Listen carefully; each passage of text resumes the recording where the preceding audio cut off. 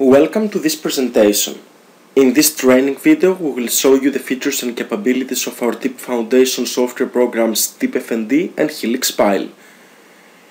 We will show you the software interactive interface and how you can actually define soil properties and stratigraphy in both software programs.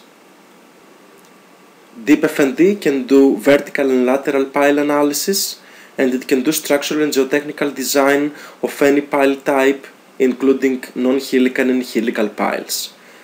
The basic version of the software can do the design of non-helical piles like drilled, driven, caissons, CFA piles and drilled displacement piles and there is an additional optional module that allows you to do the design of helical piles. On the other hand, Helix Pile is our software program that does vertical and lateral pile analysis, structural and geotechnical design of helical piles only. So the Helix Pile software and the helical pile module of DeepFND are identical. Helix Pile can be used by companies that do design of only helical piles. This is the graphical interactive interface of both our software programs Helix Pile and DeepFND. First of all, the software is built in tabs. These tabs include tools that can help you define your different model options, define properties, define analysis methods, define different design standards and safety factors, choose to perform settlement analysis, define lateral options, view results, export reports, etc. On the left side of the screen, we see the design sections area. In our Deep Foundation software programs, these could be also named as piles. So you can use the different design sections in order to simulate different piles around your, your project. So you can right click here and you can add new sections and new sections will be opened here in different tabs which you can access independently and you can define the local parameters of the different piles. In different design sections you can include different soil properties, different stratigraphies, different pile types, uh, different pile sections, uh, loading, etc.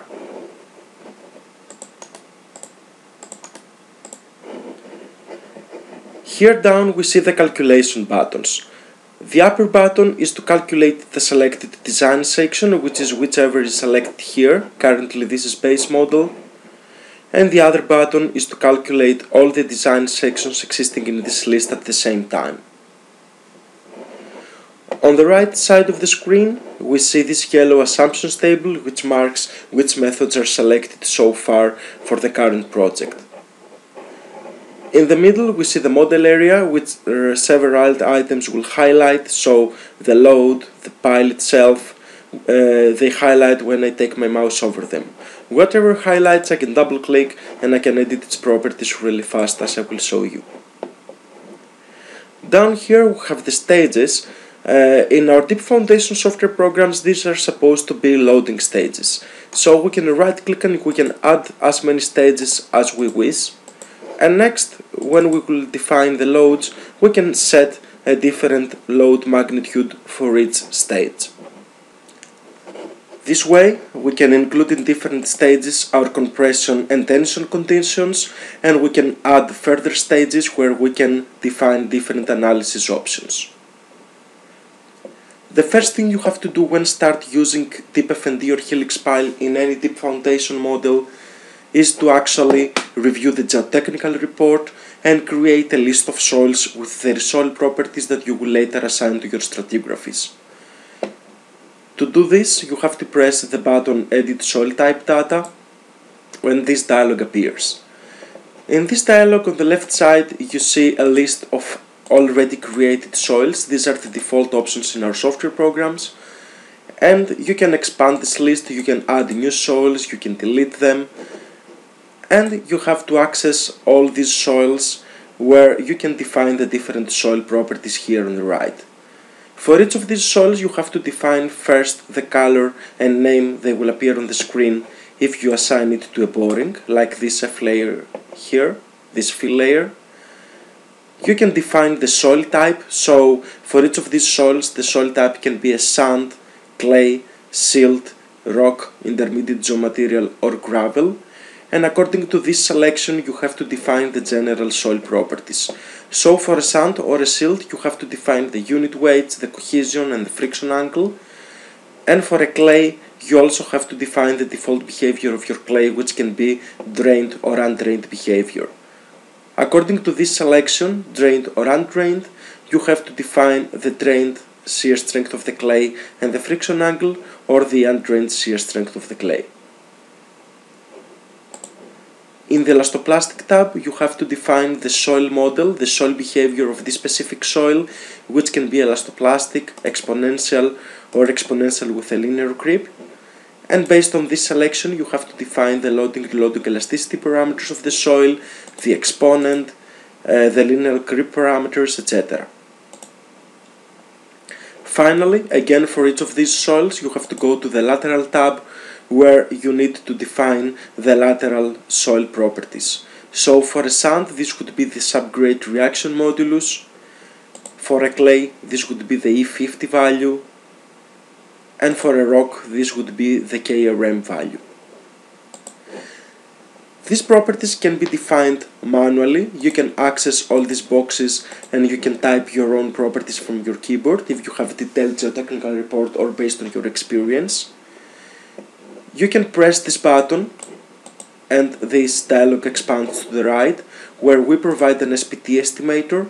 So based on the NSPT value that you can define here in this bar you will see as I move this that these properties are automatically estimated. And if I wish I can go to the elastoplastic tab press this elasticity modulus box and I can also estimate uh, the loading elasticity parameters of the soil so this is the second way to do it. And the third way is to use these small arrows that are actually partial estimation tools. Some of them will propose you directly values based on different soil types and some others like for this ultimate bond resistance for the grouted piles uh, will propose scientific methods.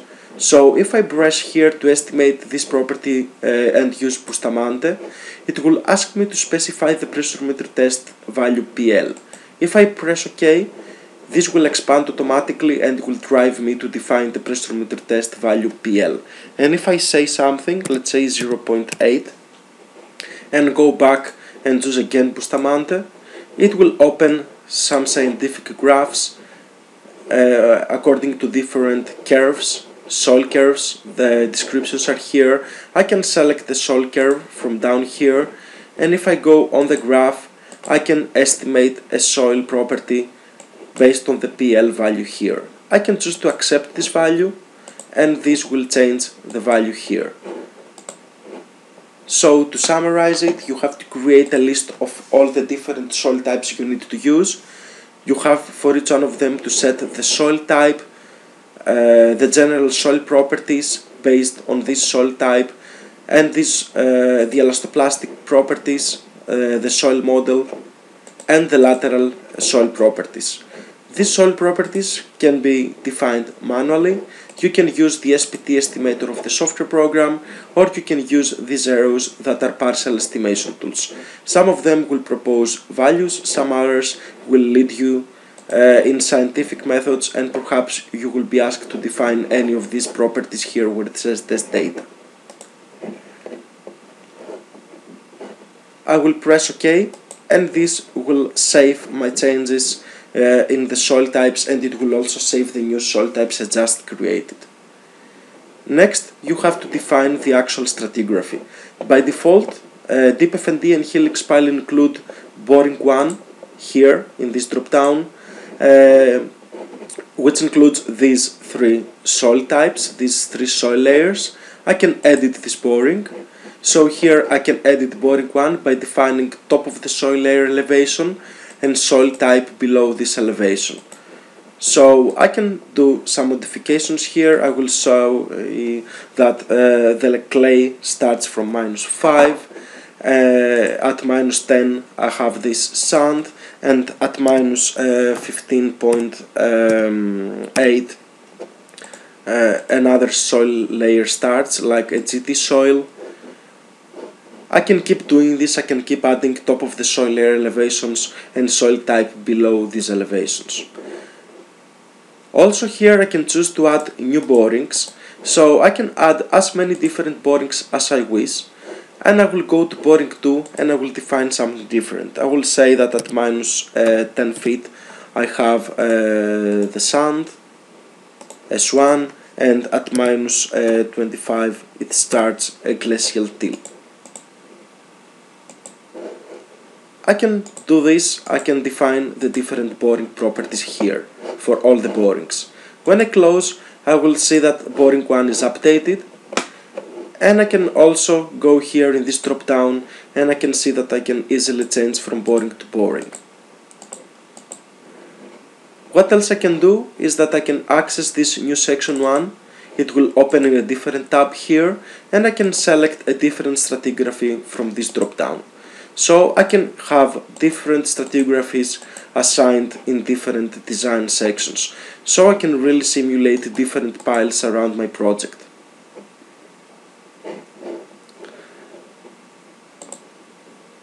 If we go to the properties tab, here we can press this button SPT and here we can add SPT records. We can add as many different SPT records as we wish in this list and for each one of them we can define depths, SPT value and RQD for our rocks.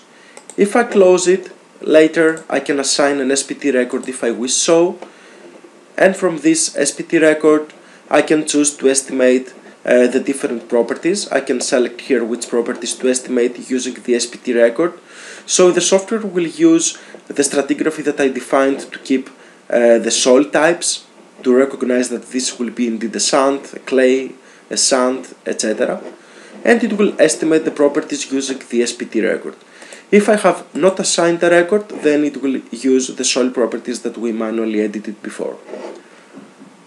Also here you can choose to import the CPT record, so you can add the CPT record from a tab delimited file from an Excel file and the software will uh, estimate uh, the soil properties using the CPT record.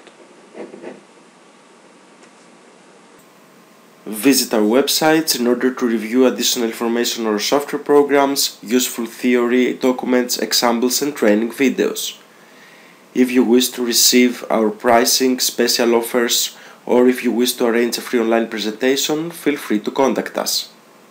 Thank you for watching this video.